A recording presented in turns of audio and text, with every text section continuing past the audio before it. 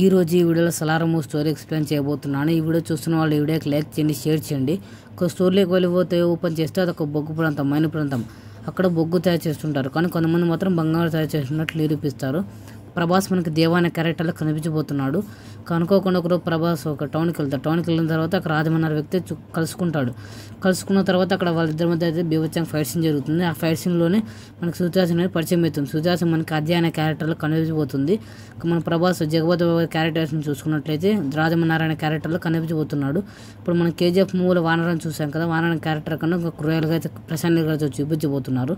ఇక్కడ mother sentiment వచ్చేసి ఇంకా మనం కేజీఎఫ్ టూ మూలో కూడా చూసాం కేజీఎఫ్ వన్లో కూడా చూసాం. అందుకన్నా పీక్ ఇంకా తర్వాత మనం మెయిన్ విలన్ గురించి మాట్లాడుకోవాలంటే పృథ్వా సుకుమారం గారితో అయితే మెయిన్ విలన్ మూలో తన క్యారెక్టర్ చాలా క్రూయల్గా ఉండిపోతుందని తెలుస్తుంది. ఇక మదర్ సెంటిమెంట్ వచ్చేసి మన మధ్యలో ఇంటర్వెల్ బ్యాంకులు ప్రభాస్ తన అమ్మని కలుసుకోవడం అక్కడ బీవచ్చమైన ఎమోషన్ పెట్టడం వేరే లెవెల్ ఉంటుందని చెప్పుకోవచ్చు క్లాస్లో క్లైమాక్స్ అప్పుడు ఒక పదివేల మందితో ఫైట్ సీక్వెన్స్ ఉంటుంది అది మాత్రం వేరే లెవెల్ ఉంటుంది.